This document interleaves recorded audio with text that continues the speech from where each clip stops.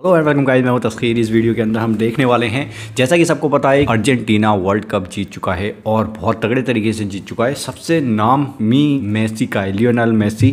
उन्होंने कुछ इस्लामिक लिबास या फिर ये कह सकते हैं कि कतर में वहाँ की जो आ, कल्चरल ड्रेस होती है जुब्बा कहते हैं उसको वो पहना उन्होंने और इस्लाम को इतना बढ़ावा मिला। मतलब कतर में एक वर्ल्ड कप होने से इस्लाम के बारे में रियलिटी बहुत सारे लोगों को पता चली है। तो उसी से रिलेटेड एक वीडियो देखने वाले हैं। जुब्बा पहना उन्होंने और क्या क्या ऐसी चीज़ें हुई। जो को स्टार्ट दी वीडियो नाउ बिस्मिल्लाहिर्रहमानिर्रहीम। अस्सलाम नाजिन आज फीफा वर्ल्ड कप 2022 जो कतर में जारी है, आज उसका फाइनल और आखिरी राउंड था। आज फैसला होना था कि चैंपियन कौन बनेगा। तो फिर जब आज फाइनल राउंड हुआ तो दोनों टॉप टीम्स तो आखिरी फाइनल राउंड में शामिल दोनों टॉप टीम्स फ्रांस और अर्जेंटीना ने दोनों को मुकाबले की टक्कर दी। हम्म। दोनों ने एक दूसरे को हराने की भरपूर कोशिश तो की और भरपूर तैयारी के साथ मैदान में उतरे। मगर एक टीम हम्म। को तो जीतना ही था और फिर ये फैसला अर्जेंटीना के हक में हुआ और अर्जेंटीना इस तरह आलमी चैंपियन बन गया फुटबॉल का और वर्ल्ड कप उसके नसीब में आया। तो नाजिन अर्जेंटीना की फतह के बाद पूरे अर्जेंटीना में जश्न का समा बन गया और तो स्टेडियम में अर्जेंटीना के खिलाड़ियों ने और अर्जेंटीना की आवाम ने भरपूर जश्न मनाना शुरू कर दिया। और फिर जब ऑफिशियल तकरीब शुरू हुई जिसमें अर्जेंटीना की टीम को वर्ल्ड कप देना था और बाकी खिलाड़ियों को मेडल्स मिलने थे। तो उस तकरीब में कतर के अमीर भी मौजूद थे। कतर के अमीर वो स्टेज पर आए और उन्होंने हम्म। अर्जेंटीना टीम के कप्तान और दुनिया के टॉप खिलाड़ी मेसी को अरबी जुब्बा पहना दिया। अरबिक बिश्त पहना दी जिसे अरबी लोग जुब्बे के ऊपर पहनते हैं। गोल्डन और ब्लैक कलर की जो बिश्त होती है अरबी लोगों के लिबास का हिस्सा है। ये अरबी लिबास का हिस्सा है और अरबी लिबास दुनिया में इस्लामी लिबास के तौर पर जाना जाता है। तो कतर ने फीफा वर्ल्ड कप की आखिरी तकरीब में भी जाते जाते इस्लाम की एक निशानी छोड़ दी छोड़ और दी उन्होंने मैसी को वो अरबिक लिबास का बिश्त पहना दिया और इस तरह जब उसने वर्ल्ड कप रिसीव किया और उसके बाद मेडल्स रिसीव किए उसके बाद पूरे मीडिया में जब उसकी तस्वीरें जाएँगी पूरी दुनिया में जब ये वीडियोज़ ये मनाजर अगर दुनिया में ये जाएँगे तो अरबिक कल्चर दुनिया में वायरल होगा। अरबिक कल्चर ज़ाहिर है इस्लामिक कल्चर है और इस्लामिक कल्चर दुनिया में वायरल होगा। और जब लोग देखेंगे तो उसको एक इस्लामी लिबास के तौर पर देखेंगे। हम्म। तो इस तरह कतर पूरे फीफा वर्ल्ड कप में जो उसने किरदार अदा किया है वो एक काबिल तहसीन है। इस्लाम के लिहाज से अरबिक कल्चर के लिहाज से और हर लिहाज से फीफा वर्ल्ड कप को एक यादगार वर्ल्ड कप बना दिया। तारीख में एक मुसलमान अरब मुल्क में होने वाला फीफा वर्ल्ड कप हमेशा के लिए याद रखा जाएगा। वालेकुम नाजिन जब फीफा वर्ल्ड कप 2022 कतर में शुरू हुआ तो मुसलमानों के पास इंतज़ाम थे और सारा कंट्रोल मुसलमान अरब मुल्क के पास था। तो जब मुसलमान टीमों ने इसमें शिरकत की तो उनका जज्बा भी अलग से था क्योंकि हाँ, वो मेज़बान थे तो और मुसलमानों के पास मेज़बानी थी इसलिए उनके पास एक अलग से जज्बा था और एक नए जज्बे के साथ वो इस फुटबॉल में शरीक हुए थे। तो नाजी मुसलमान टीमों ने यहाँ पर एक नया किरदार पेश किया कि जब वो मैच जीतते तो अल्लाह के हजूर सजदा रेज हो जाते। ये फुटबॉल की तारीख में पहली दफ़ा ये लम्हा देखे गए थे क्योंकि हम्म। क्रिकेट में तो हम देखते थे। एक प्लेयर जो जीत की खुशी में सजदा रेज हो जाता था तो दुनिया में वायरल होता था। मगर आज फुटबॉल की तारीख में ये पहली दफ़ा इस वर्ल्ड कप में हुआ कि पूरी की पूरी टीम सजदा रेज होकर अल्लाह का शुक्र अदा करती और ये मनाजर पूरी दुनिया में गए। इंटरनेशनल लेवल पर यह मैच था और वर्ल्ड कप था तो पूरी दुनिया में ये मनाजर देखे जाते थे। तो लोग इसको हम्म। देख कर मुतासर होते थे और सोचते थे कि ये मुसलमान मुसलमानों का इबादत है तो वो किस तरह अपने अल्लाह के सामने अपने खुदा के सामने सजदा रेज हो जाते हैं।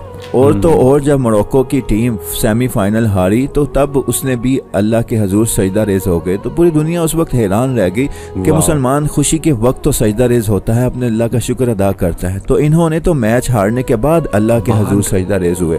उन्होंने तो हाँ। अल्लाह का शुक्र अदा किया था कि अल्लाह तो यहाँ तक लेके आए अगली मरतबा इससे भी आगे जाएँगे। क्योंकि अल्लाह का इरशाद है कि लाइन शकर तुम लाजीदन्नकुम अगर तुम मेरा शुक्र अदा करोगे तो मैं तुम्हें और नवाजूँगा तो उन्होंने फिर अल्लाह का शुक्र अदा किया। अल्लाह इंशाल्लाह उनको और नवाजेगा। मगर नाजिन कल कुछ ऐसे मनाजर कैमरे में रिकॉर्ड हुए जिससे यूँ लग रहा था कि अर्जेंटीना की टीम फतह के बाद सजदा रेज है। वो सजदे में गिरे हुए हैं। कुछ लोगों ने इस चीज़ को लेकर पोस्ट किया शेयर किया कि अर्जेंटीना की टीम भी मुसलमान हो गई है और उन्होंने अल्लाह के हाँ। हजूर सजदा रेज होकर शुक्रिया अदा किया। मगर ये ये सजदा नहीं था ये ऐसी काफियत थी। इस्लाम एक फितरती दीन है इस्लाम एक नेचुरली दीन है। तो इस्लाम की जितनी भी आबादात हैं वो सारी नेचुरली हैं। तो नाजिन ये वो मनाजिर थे कि जिसे देखकर लोगों ने कहा कि वो सजदा रेज हो गए। हालाँकि ये सजदा रेज नहीं था। वो जब मैच जीते उन्होंने फाइनल जीता तो वो ऐसे ज़मीन पर गिरे कि जैसे हाँ। लग रहा था कि जैसे वो अल्लाह के हजूर सजदा रेज हों। जबकि वो सजदा रेज नहीं थे वो ऐसे खुशी की हालत में ही ज़मीन पर गिरे और वो और ये मनाजिर कैमरे में रिकॉर्ड हो गए।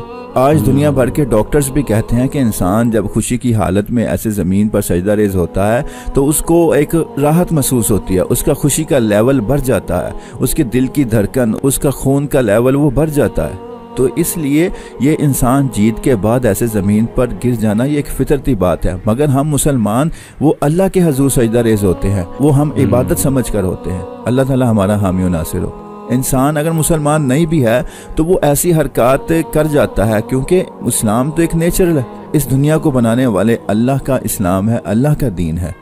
सो so, कितनी प्यारी कितनी खूबसूरत चीज़ें देखी हमने इसके अंदर कि इस्लाम किस लेवल पर पहुँच गया है इस्लाम किस हद तक आप देख सकते हैं कि कतर ने वो काम किया है, जो पूरी दुनिया नहीं कर पा रही थी, जो दुनिया ने नहीं किया।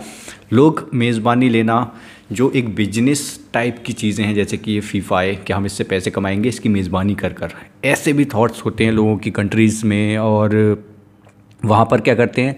मेज़बान बन गए, लेकिन सारे अपनी कंट्री के रूल अपने जो रूल्स हैं, वो उनको भुला कर थोड़े दिन की छूट दे देते हैं कि जाओ, मज़े करो और ये करो, वो करो। गंदे काम करो, उल्टे सीधे काम करो। लेकिन कतर ने वो मिसाल बनकर दिखाया है जहाँ पर आपको अपनी इस्लाम को, सबसे पहले इस्लाम कि वो क्या है इस्लाम? इस्लाम के रूल्स क्या हैं? वो उससे आउट ना हो। आप दुनिया का सबसे बड़ा इवेंट कह सकते हैं आप इसको, स्पोर्ट्स में। तो उसके भी मौके पर इस्लाम नीचे ना जाए, इस्लाम का एक भी रूल ना टूटे या फिर इस्लाम को ठेस ना पहुँचे उस नज़रिए से सारे काम मैनेज किए भाई। और दुनिया को दिखा दिया। लोगों ने देखा कि एक इस्लामिक कंट्री जो है, वो फीफा वर्ल्ड कप को जहाँ पर बहुत कुछ होता है मतलब जीत के बाद ऐसे जश्न होता है, कपड़े उतार कर लड़कियाँ, लड़के नंगे पुंगे घूमते हैं तो वो सारी चीज़ें नहीं हुई कतर में। मोरक्को ने तो किया था शायद कि हम यहाँ तक पहुँचे हारने के बाद वो एक पॉजिटिव इमेज जाती है कि हारने के बाद भी लोग शुक्रिया अदा कर रहे हैं, सजदे में झुक रहे हैं अपने खुदा के लिए। ये एक, अगर नॉन मुस्लिम देखे तो उसके उसके लिए क्या एक थॉट आएगा सबसे पहले उसके दिमाग में कि यार ये लोग अपने खुदा को नहीं छोड़ते। दूसरी, आप देख सकते हैं, मैसी को जुब्बा पहनाया। मैसी को कोई एतराज़ नहीं था। वो चाहते तो मना कर देते कि मैं ये नहीं पहनूँगा। जैसे कि बड़े बड़े खिलाड़ियों को देखा है हमने कि कह सकते हैं कि कोल्ड ड्रिंक की एक कोई ब्रांड है, उसको मना कर देते हैं पब्लिक में जाकर। तो इसको भी मना कर सकते हैं। सब अपने अपने भाई इतने बड़े बड़े खिलाड़ी हैं, वो कुछ भी मना कर सकते हैं, लेकिन नहीं उन्होंने पहना। यानी कि उनकी इज़्ज़त थी उनके दिमाग में, दिल में इज़्ज़त थी कि यार ये ड्रेस मुझे पहननी चाहिए। पॉजिटिव इमेज के साथ साथ बहुत कुछ हमें देखने को मिला है कि कतर से खुश होकर जा रहे हैं लोग। खिलाड़ी खुश होकर जा रहे हैं, पब्लिक खुश होकर जा रही है कि भाई, वहाँ पर एक बहुत ही क्लीन तरीके से बहुत बढ़िया इवेंट हुआ है। लोगों के चेहरों, आँखों के सामने जो धुंध थी, वो थोड़ी बहुत साफ़ हुई होगी इस्लाम के लिए। सो कमेंट सेक्शन में अपनी राय ज़रूर बताएँ। मिलते हैं फिर नेक्स्ट वीडियो में, तब तक के लिए बाय बाय साइनिंग ऑफ़